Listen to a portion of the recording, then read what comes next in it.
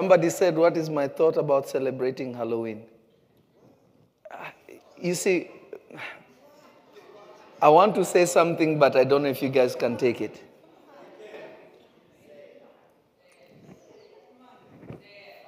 No, I'm, I'm, I'm going to tell you.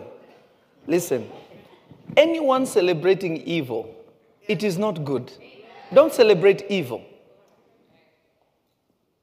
That's a big no no. Don't celebrate evil. Why would you be celebrating evil? You can't celebrate evil. Because we are children of what? The light. We are children of the light. Don't celebrate evil. But here's a, a but. A but. If you have little kids, like we have fall festival where our kids, instead of them going to celebrate demons, we have like a good, like fun time with, for them. You know what I mean?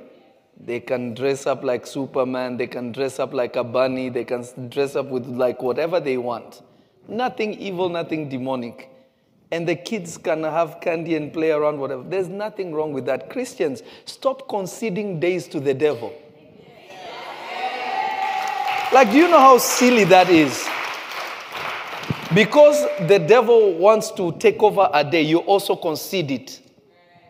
Saying, on that day, I'm not going to do anything fun with my kids because it's the day of the devil. No, this is the day that the Lord has made.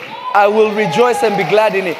I'm going to make it about God. I don't need it to be about the devil.